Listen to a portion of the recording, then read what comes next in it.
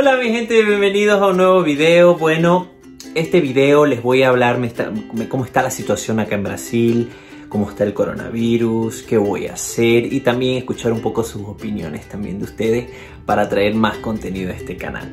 Así que antes de comenzar este video, pues ya saben de dejar ese precioso like, de suscribirse a mi canal en el botoncito rojo, creo que está aquí o está aquí, y de seguirme en mis redes sociales como Instagram, que se lo dejo por aquí. Así que sin más preámbulo, pues comencemos con este video.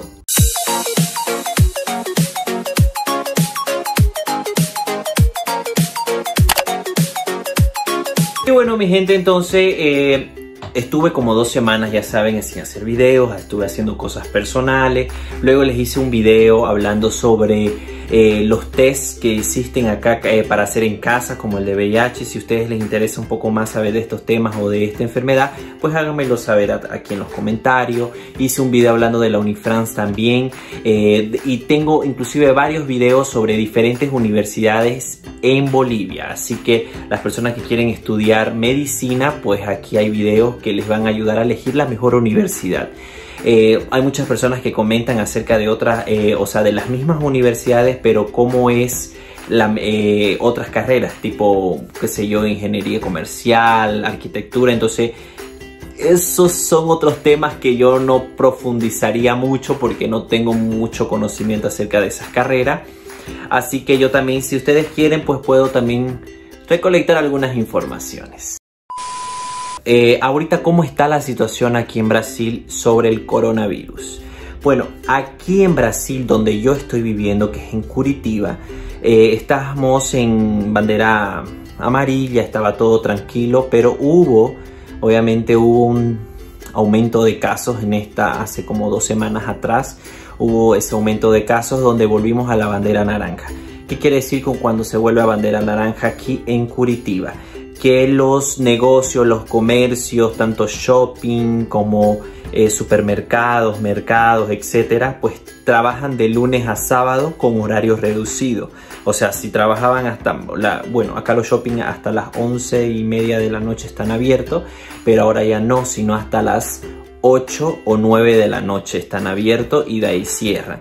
Y los centros comerciales, o sea, decir tiendas que quedan por el centro, afuera, que no sea dentro del shopping, pues funcionan como hasta las 6 y media sería el trabajo que y de ahí ya tienen que cerrar y los domingos pues no hay nada abierto no hay supermercado, obviamente que algunas farmacias que puedan trabajar 24 horas, eh, no todas, sí. Eh, bares, fiestas, todo esto pues está cerrado, ¿no? Y bueno, ese es el consejo que quería traerles también porque debemos tener un poco más de cuidado, ¿no? Ahorita, en, ¿por qué se volvió a la, a la bandera naranja? Pues se volvió porque todos los hospitales, tanto clínica, estaban saturados, no había espacio para terapia intensiva en caso de que un paciente nuevo con coronavirus necesitase de terapia, pues no hay espacio.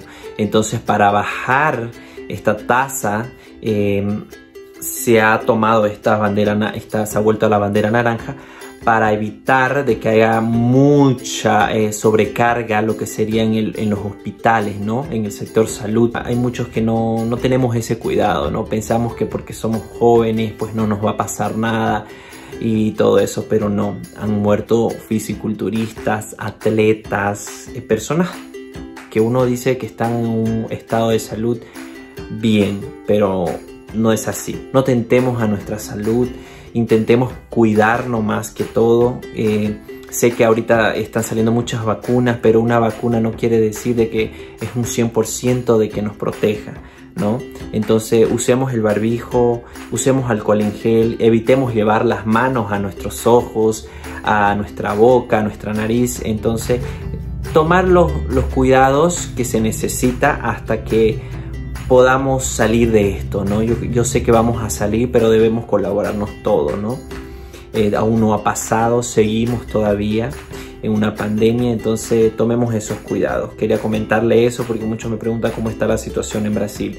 Acá en Curitiba eh, ha habido un poco de casos aumentados, pero no mucho como hay en San Paulo o en Río. Entonces esos estados están un poco más en alerta Eh, ya no va a haber las personas que quieran venir y pasar año nuevo en la playa y todas esas cosas, pues no va a haber, eh, se ha prohibido.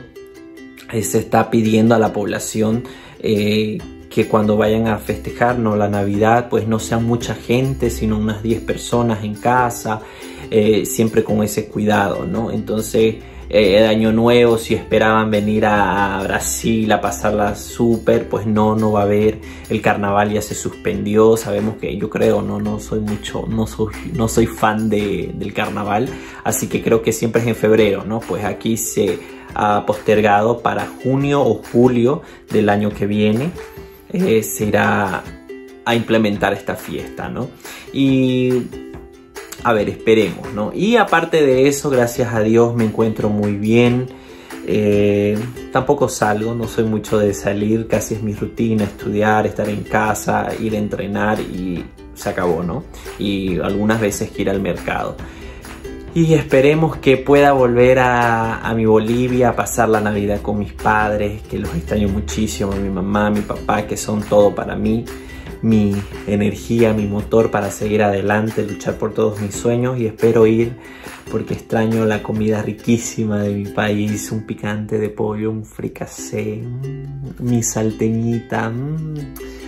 Así que espero ir, espero de verdad estar allá, pasar con mi familia Navidad, Año Nuevo, juntos.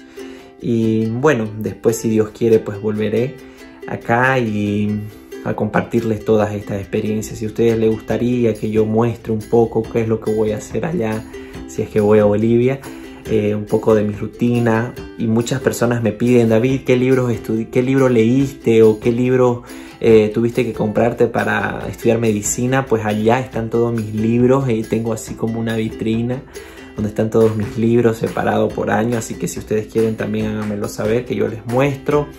Les voy a hacer un tour también por mi cuarto allá en Bolivia, como es, si ustedes lo desean. Y más que todo este video era para informarles sobre eso, ¿no? De cómo está la situación del coronavirus en Brasil, que no está fácil. Acá en Curitiba la gente es un poco más como que se interesa, ¿no? Aquí la gente pone de su parte para no contagiarse. No sé cómo serán los otros estados, entonces no puedo hablar sobre eso, pero aquí el gobernador como que se enfoca mucho en proteger y aparte que aparte de eso pues que no se sature no el sistema de salud porque ya estuvo saturado entonces por eso se activó la bandera naranja para evitar que se sature más y no haya espacio para las personas que quizás puedan necesitar. Como saben el SUS que es el sistema único de salud pues aquí es todo gratis no entonces eso es lo bueno de aquí pero sabemos que muchas personas que se enfermen pues saturan ¿no? al sistema y no se puede atender a todos. Entonces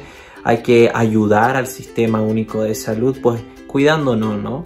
Protegiéndonos, usar alcohol y el gel y mejor si nos quedamos en casa, ¿no? Y también cuidar a nuestros papás también, ¿no? Eh, bueno, eso quería compartirles a ustedes un poco cómo ha estado este, eh, esto acá, cómo se está viviendo y vamos a salir pronto de esto. Yo tengo fe, fe en Dios, de que juntos lo podemos lograr y poniendo de nuestra parte siempre, ¿no? Así que espero que les haya gustado este video. Si a ustedes les interesa algún tema también eh, que, traiga acá en, en mi canal, si ustedes quieren saber de algún otro tema relacionado con universidades, con salud, con mi vida, si se interesan mucho, pues háganmelo saber acá en los comentarios que yo estaré trayendo varios videos para ustedes. Así que nos vemos en un próximo video. Chao, chao.